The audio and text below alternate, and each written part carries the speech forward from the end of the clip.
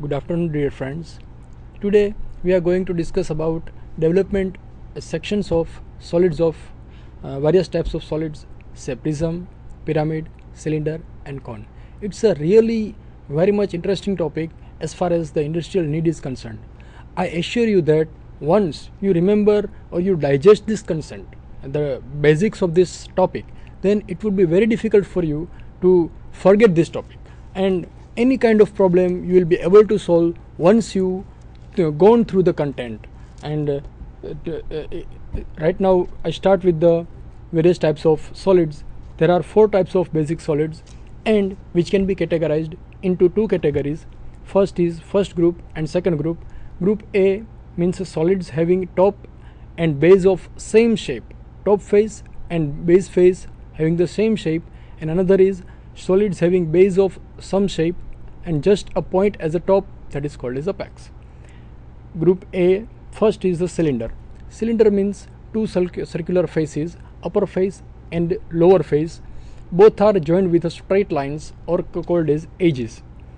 Then prism, upper face and lower face may be any polygon, it may be triangle, it may be square, it may be pentagon or it may be hexagon and accordingly the prism is given name say triangular prism square prism pentagonal prism and hexagonal prism similarly group b and cube is also covered in group a means cube means all sides are of having equal length and uh, all sides are square. Another is cone.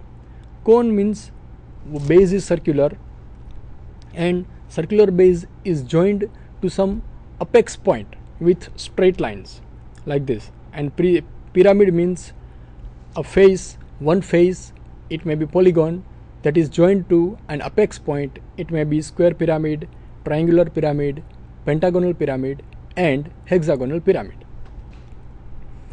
Triangular square pentagon and hexagon. And tetrahedron means four triangles are joined like this which is called as the tetrahedron solid. Now solids.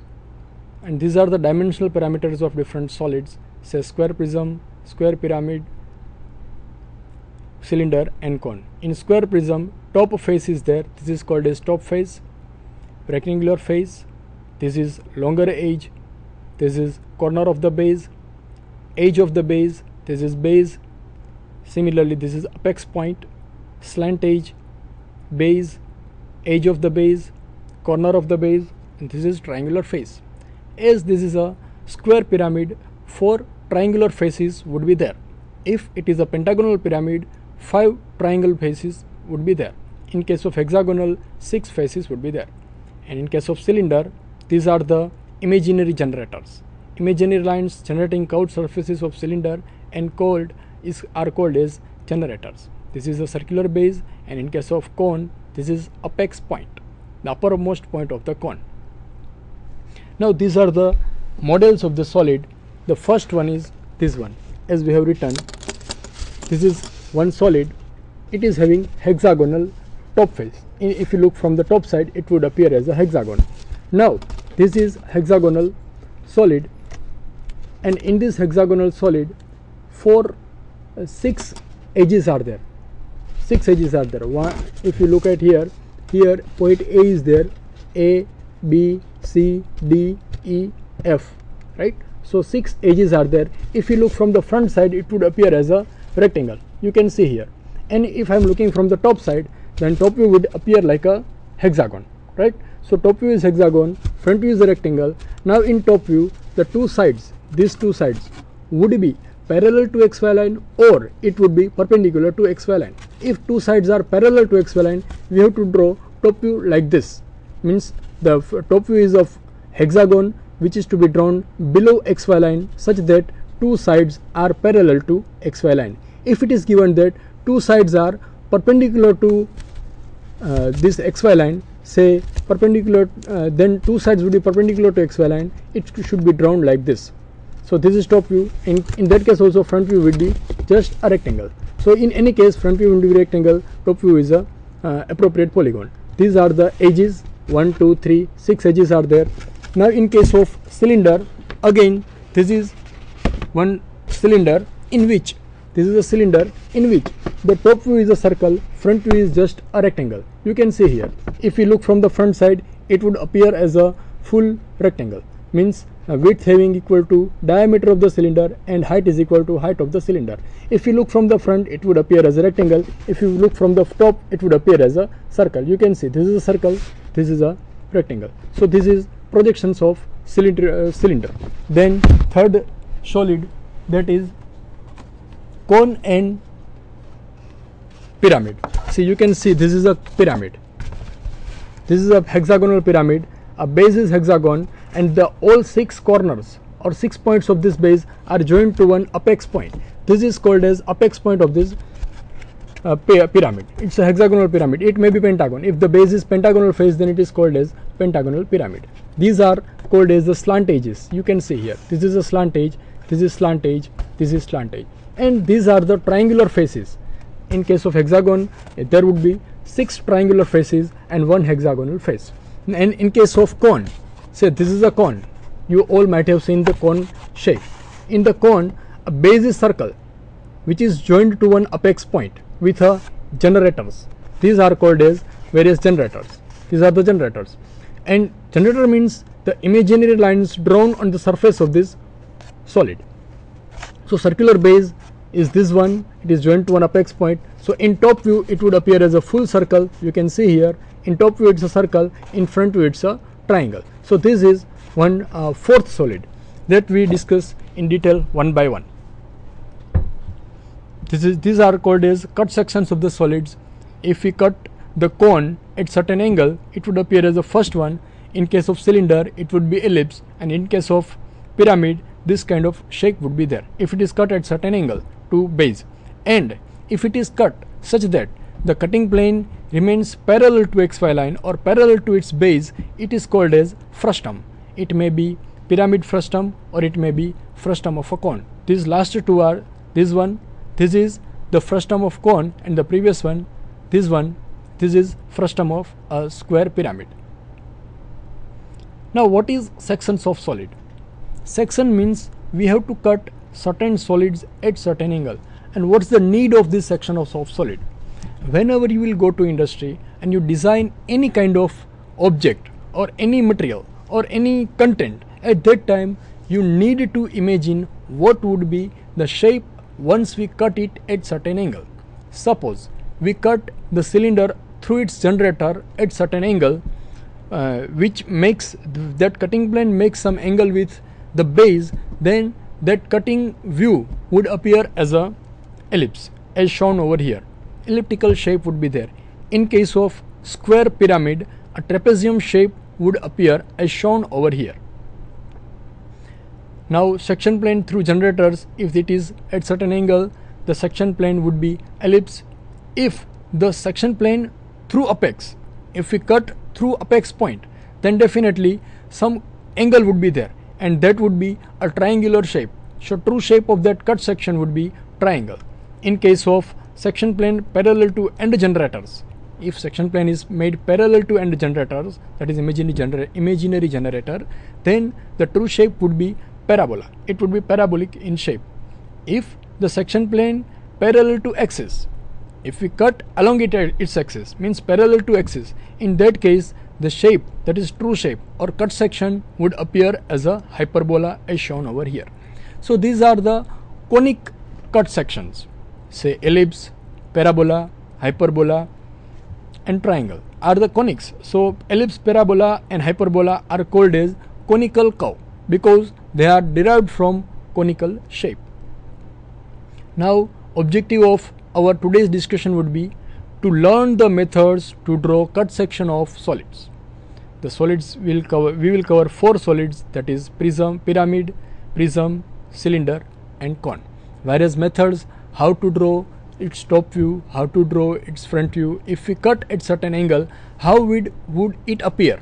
What would be its front view? What would be its top view? Its true shape?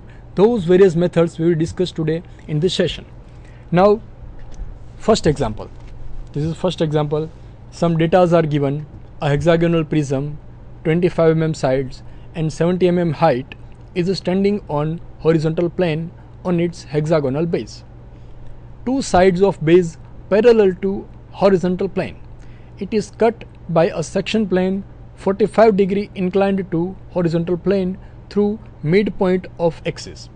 Draw its front view, top view and true shape of the section. Now in such kind of problem, first we should start from the first line. What is given? Here dimensions are given hexagonal prism 25 mm sides. So front top view would be hexagon with 25 mm sides. If because here it is given that two sides of base parallel to HP. It is given. It is on here it is given it its hexagonal base two sides of base parallel to horizontal plane it is cut by a section plane so first we think about these three lines only in this three line its top view would appear as a hexagon and its front view would appear as a rectangle so first of all draw xy line which represents the intersection of horizontal plane and vertical plane for front view xy line is horizontal plane and for top view xy line is vertical plane. So we start from its top view, draw xy line. In top view it would appear as a hexagon. Here two sides of base parallel to HP it is given. So we will draw this hexagon such that two sides become parallel to xy line like this. After drawing this hexagon insert the dimension it's a hexagon with side length 25 mm and then draw generators from endpoints, mark a height that is of 70 mm which is given in the data. So height is 70 mm, mark a point at a height of 70 mm and make a rectangle. So this is a rectangle and this shows the front view of this solid. So top view and front view we have drawn. So in short we have drawn the first line, a hexagonal prism, 25 mm sides and 70 mm height, two sides of base parallel to horizontal plane. Now draw its center lines or axis of this solid. After drawing this axis, mark midpoint of this axis means which will be at a distance of 35 mm from the base because it is given that the cutting plane passes through midpoint of the axis and this plane makes an angle of 45 degree with horizontal plane. Now to draw this draw a line which makes an angle of 45 degree with xy line as well and it passes through midpoint of this axis means at a height of 35 mm from the base. Now after drawing this cutting plane name these points A, B, C, D, E and F six corner points of this hexagonal prism and from this prism draw vertical lines which shows the generators or corners or edge points edge of this solid so six edges are there a which is shown by dash point as it is a front view. So front view is represented by dash points. So it's A dash, B dash, C dash, D dash, E dash, F dash. So this we have drawn. Uh, this diagram represents the given data. Only one thing here remains that is the true shape of this cut section. Is it clear? First we have drawn the hexagon with given side length, then uh, front view with a given side of rectangle 70 mm then mark the midpoint of the axis which is at a distance of 35 mm from the base and then after draw a cutting plane which makes an angle of 45 degree with xy line now to draw the cut section or true shape of the section we will draw the this is sectional top view. Because if you look from the top side it would appear as a sec it would be appear as a complete hexagon. So here sectional top view is to be drawn like this. Sectional line should be drawn such that all these lines makes an angle of 45 degree with our reference line that is xy line. And this is front view and lighten this uppermost portion here. This portion. This portion is to be removed. So we should make it much lighter or it should be erased. Because now this section is our remained section. This is a hexagonal. You can say it's a hexagonal cut section. Front view is drawn. Now to draw its true shape. Means after cutting this what would this shape appear? To draw this true shape, draw a line or another reference line which is parallel to this cutting plane which makes an angle of 45 degree with xy line and this is our reference line that is called as x dash y dash line. After drawing this x dash y dash line, mark here some points.